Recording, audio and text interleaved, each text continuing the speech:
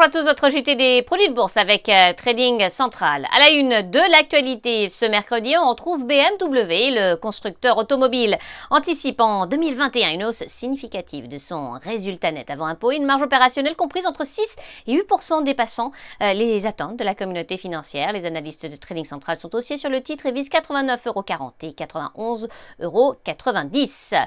Forestia, l'équipementier automobile, va de son côté lancer une émission de 400 millions d'euros d'obligations seniors vertes à échéance 2029. Les analystes de Trading Central sont aussi sur le titre et visent 52,30 euros et 54,20 euros. La stratégie du jour, L'Oréal, le titre a marqué de nouveaux plus hauts historiques après avoir rebondi sur le support des 305 euros et sur sa moyenne mobile à 50 séances. De son côté, le RSI n'est pas suracheté tant que le support des 305 euros n'est pas enfoncé en clôture.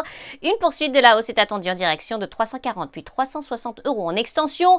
Portez-vous à l'achat sur le Varanco Paul 82 64T émis par Unicredit de prix d'exercice 325 euros et de maturité au 15 septembre 2021. Enfin, notre coup de projecteur sur le DAX 30, l'indice allemand consolide ses gains mais reste dans une dynamique haussière supportée par ses moyennes mobiles à 20 et 50 jours. L'indicateur euh, RSI n'est pas en zone de surachat, une poursuite de la progression est privilégiée vers 14 800 points tant que le niveau des 13 868 points n'est pas enfoncé.